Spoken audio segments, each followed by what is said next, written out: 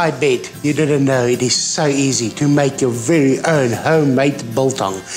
Obviously, you can be creative with a lot of herbs, a lot of spices until you become a biltong king. But for today, I'm going to show you how to make my very own easy version. Let's go. I've got some silverside from Pick n Pay. I've asked my butcher to cut it in biltong slices already. Our first step, we're going to mix some vinegar with a bit of Worcester sauce. I'm going to set the bowl aside. For our dry ingredients, we're going to start off with some coriander, some salt, some sugar, some barbecue rub, some pepper. I'm now going to mix this together. Just look how beautiful it is. It smells awesome. Now, for the meat. What I'm going to do is we're going to place this meat into this tray. As you can see, we basically just give it a lacquer wild pack. Let's add our uh, brine mixture, which is our vinegar and our Worcester sauce.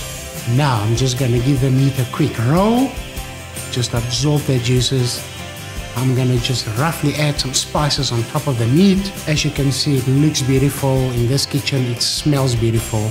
I'm going to give it a quick turn again and another round of spices.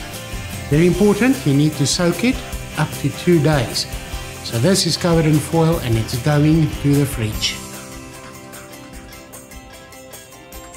Okay, I've just removed our biltong from the fridge. This is looking magnificent. Now we're gonna add some spices on top of our meat. As you can see what we've done over here. Let's add some hooks to it. Beautiful, beautiful. This is our very own biltong box. I'm going to remove the lid. Let's hang it. Very important with biltong, you must make sure they don't touch each other. That will obviously become dry spots on it. As you can see, they're hanging, they're looking beautiful. I'm to put on the lid. Now, we must wait for four days. I can't wait. And I'm to switch it on. My biltong is done. Just look how good it looks. I'm now to slice it in this beautiful biltong cutter.